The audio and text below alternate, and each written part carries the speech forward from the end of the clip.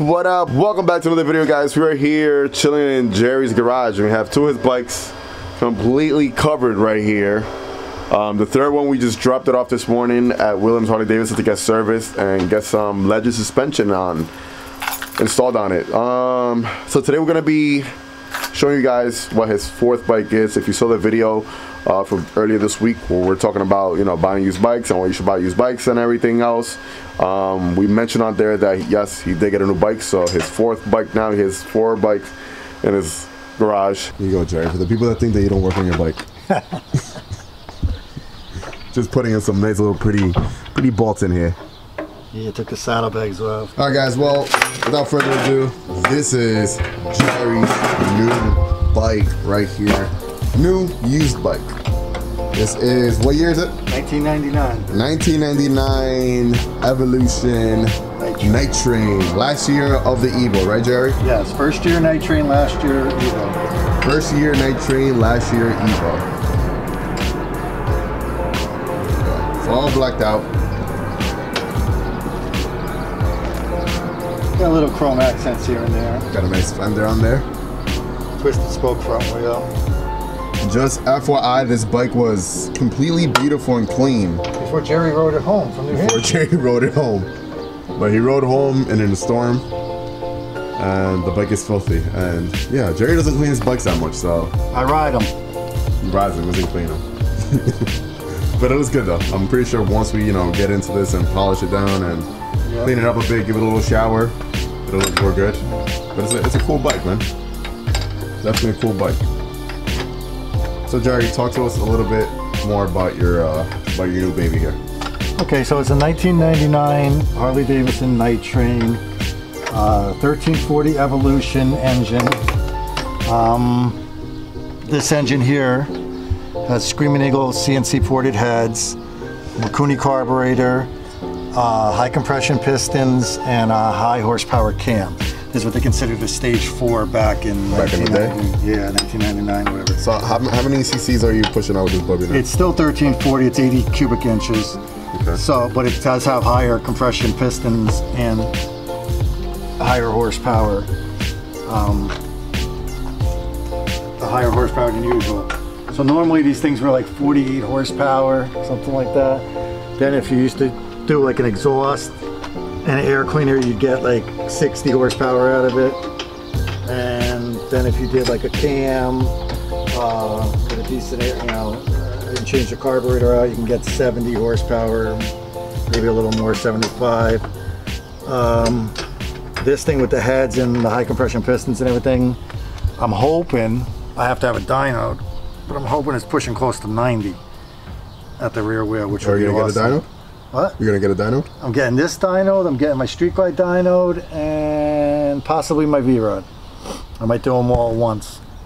I think before you should get your your, uh, your V-Rod dyno, you should definitely put some work into that. Just in case. Yeah, you could see. I mean, it's probably only got stock horsepower. It's got a you know Screaming Eagle exhaust and an air cleaner, but that's about it. So this bike is filthy. This bike is definitely filthy. Dirty bike. Are you gonna change out the seat? Change out the what? The seat? Uh, eventually. I think you should honestly get like a solo seat on here. Uh, Since you you're go with a gunfighter. I need some, some kind of back support because I am old. I need back support. yeah, but uh, I, I would definitely do a single. I seat. thought about doing a solo seat, but I don't know what the back fender looks like. Actually, that's a good thing we can look at right now. And see what the back fender looks like. I think you should definitely because this, this is more of a hot rod type of bike. Definitely a single seat. I could definitely do that. whatever. Now okay. these bikes originally they they come with this uh, Fat Boy wheel in the back, right? Yes. And then the front one is always a spoke. Oh, it was a 21 inch spoke. That's a 21 inch spoke also, but it's the twisty spoke, and it has uh, a wider front tire than normal. I, I really like the fender on there. Yeah, it's a it's a nice cool fender. These, these fenders are they're very popular. Chrome like, front on, um, end. on, uh, on baggers right now. Like I said, twisty spoke front end. I, I think I'm gonna I'm, I think I'm gonna go get my Lowers chrome. That's what I said. Yeah, I want it chromed out. That looks nice. Yeah, so like I said, you got the 21 inch wider tire, 21 inch twisty spoke rim, the the, the, the bigger fender, chrome front end. Changed out the blinkers to a the newer style. Got the extended headlight bezel. It's got all chrome controls and levers. Um, let's see. We went over the engine. I don't know what pipes. I don't know what pipes these are, but they sound great. You want to turn it on? Yeah. Um, Turn we'll just go over first, and then we'll turn it on. So it's 5.2 gallon tanks. These are split tanks, so you have to fill the left side first, then the right side. You got to fill both of them up. yeah. Gotcha. This is for the padlock because there's no fork lock. Back in the day, on the older frames, you have to padlock them. old school. Harley grips, Harley mirrors. Uh, it's got the tack on it too, which is nice. Yeah, I saw that. Let's see. Some Kuryakyn pegs, some Kuryakyn stirrups. The stirrups uh, saved my life on the way back or whatever, because if I couldn't, if I was just on regular pegs at 80 miles an hour in the freezing cold, I think I would have been in bad shape. But the stirrups kept my feet at a great angle, and it wasn't too much like, you know, sometimes when you just have regular pegs, y- your feet shifts around. Your pegs are mid control, so they're really, they're under you. So it's, it's way different when you're driving So do, do uh, okay. So I see you got a you got a choke right here as well. yeah. You got a choke it before you turn it off. Yep. Carburetor, right? Yep. And you got to turn the gas on before you turn it on too.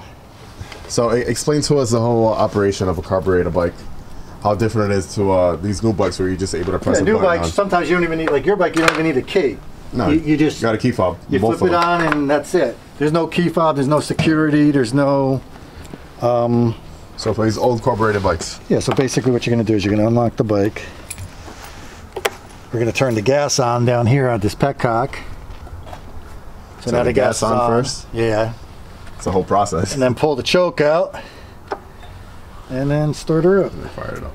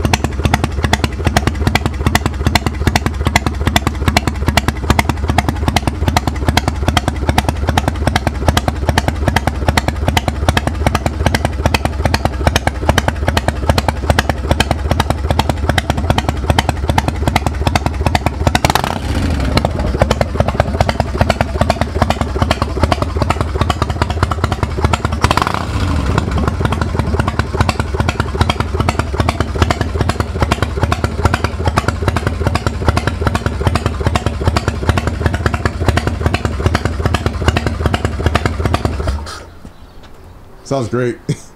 Yeah, it sounds. it sounds really good. She runs good. I'll have to put some gas in her and you can take her for a ride if you want. It's kind of shitty out, man. It's like You can wait drizzling. till tomorrow. Yeah. Well, uh, it's like a little drizzle going on right now, so we'll, we'll wait a little while to take her out. But she sounds great. Definitely cool. Very different. I like all the wrinkle, all the wrinkle black on here. Yeah, Very cool. can't beat that. I was gonna go for a chrome engine, but I got everything else chrome. So. No, I, I like every. I like the whole blacked out look, man. And then he put all these extra covers on. Very stealth. Yeah, that, that looks really good. This frame cover. Kind of reminds me of an Indian type of thing, but Not as much. yeah, You can still see the engine. You can still see a lot of stuff, but he did put some covers on there and everything. very good. Did good with this one, Jerry. Yeah, just gotta clean it. Yeah. That's it. And fix the, the loose tail light.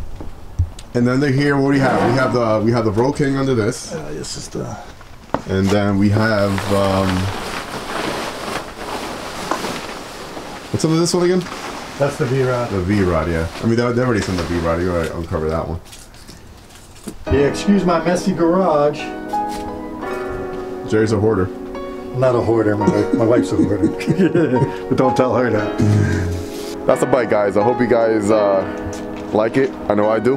Very different from everything he has. Um, Jerry has bags on all his bikes that he has. So told him for this one, this one came with bags, saddle bags. So told him take it off.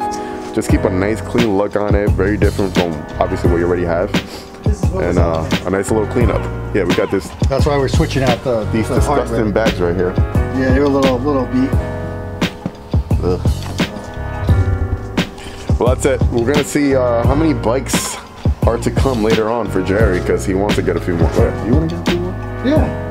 Well, we gotta clear out behind Well, we gotta clear out his garage first and see if we can fit two more in here. That's it. That's gonna be it, guys. If you're new to my channel, make sure to like, comment, and subscribe. Hit that bell button so notified every time I upload any type of new content. And that's it.